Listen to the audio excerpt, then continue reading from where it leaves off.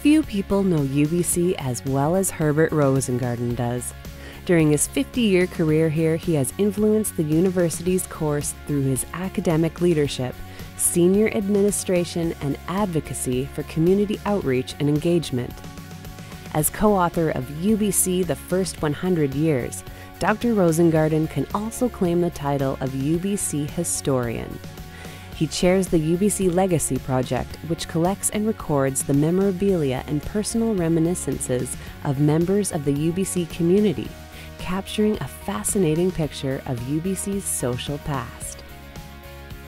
Well, UBC's been my home for two thirds of my life, and I can't imagine being anywhere else. I came to UBC in 1965 with the idea of staying here for a year because that's what one did then as a young academic. You did some traveling around, sort of uh, testing places to see where you'd like to finish up.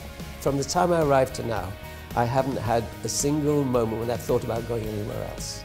I think you have to enjoy the place, and that means taking advantage of all the things it has to offer. One of the things that it has to offer, and of course this is from my perspective as a faculty member, UBC has some of the best scholars in the world in most of the disciplines that we teach here. So it's, I think, in every student's best interest to take advantage of that. In other words, do the work. Go to class, go to lectures, because you're meeting, you're being taught by some of the best scholars in your field.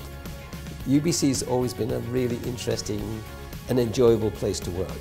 So it's been a wonderful time here, um, and I've never regretted for a moment the fact that I chose UBC or it chose me, and that uh, I've spent my whole working life here. It's been great.